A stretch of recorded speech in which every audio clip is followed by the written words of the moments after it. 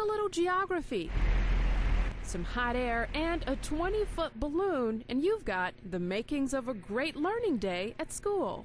I, I painted the, hand, the first earth balloon. I hand painted it. And it took me about 500 hours in, in my basement. And over the years, it's developed, and we've worked with uh, different uh, organizations to develop curriculum. And um, we have now we have six teachers that travel across the country um, delivering our programs all over the United States. To help make sure their students were ready for the science and math portions of the TAKS test, McDougall took a giant step and brought in the Earth Ball. Reasons for the seasons due to the uh, Earth's tilt, um, plate tectonics and changes in uh, landforms, uh, time zones.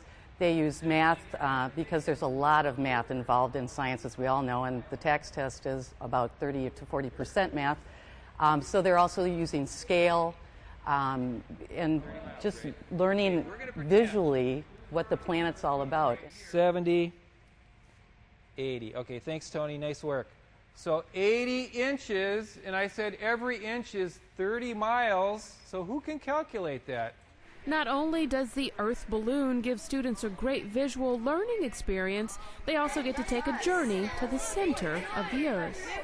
Inside is, is really cool. the first time I walked in, it's like, wow. Because, as you can see behind me, the, you can only see a part of the Earth when you're outside, but when you're on the inside, you can see the whole thing at once, and it's, it's just spectacular. And the lessons continue on the inside. Does anybody know the name of that supercontinent? But of course, what's most important is the experience will help students remember their lessons.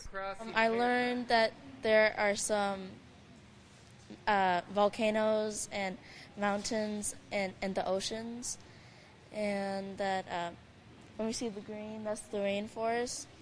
It's, this is just a great way to learn it.